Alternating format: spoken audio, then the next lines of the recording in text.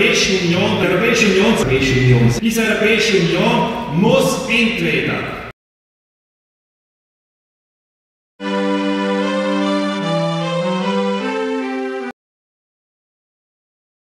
entweder einen anderen Kurs einschlagen oder sie wird scheitern. Das ist meine Prognose, meine Damen und Herren, für heute.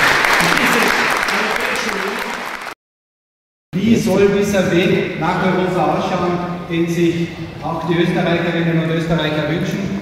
Bewusst nicht in einer, wir auch die Positionen des nächsten, das ist der Spitze unserer Spitze, aber die Grenzen Kärnten, der Kärnten unheimlich Neuzugang Richtung der Bürgerlichen, in einem sehr wichtigen, sie jetzt uns zu Verhältnisse rund um Österreich, der weiß, was an Österreich schätzen, was zu sprechen. Vor allem in einer Zeit, wo sich die Menschen zunehmend von den Gedanken Europas etwas distanzieren.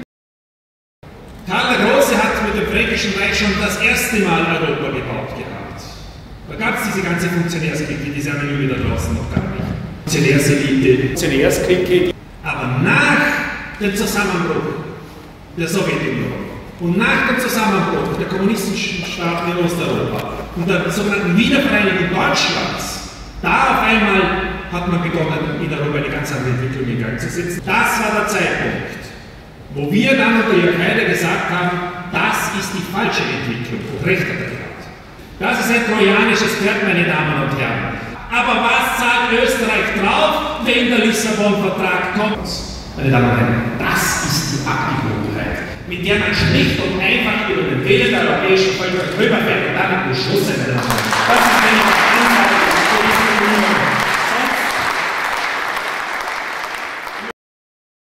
Wieso stehe ich jetzt hier vor? Eigentlich ist ein Kern der Schuld, oder zum großen Teil Schuld. Aber nicht der Kern, den Sie vielleicht vorwiegend denken, es ist nicht der Jörg in meinem Fall, sondern der Otto. Otto ist nicht mein Großvater. Ich möchte was verändern. Ich bin naiv, politisch naiv. Was können Sie von mir erwarten?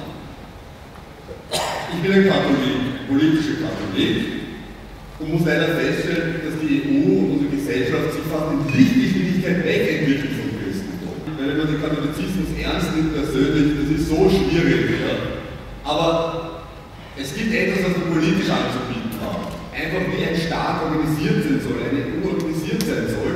Und genau das, was jetzt passiert, ist falsch.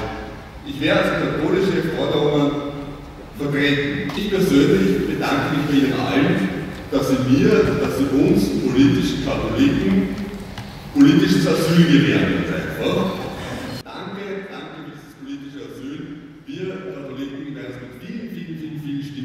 Muito obrigado.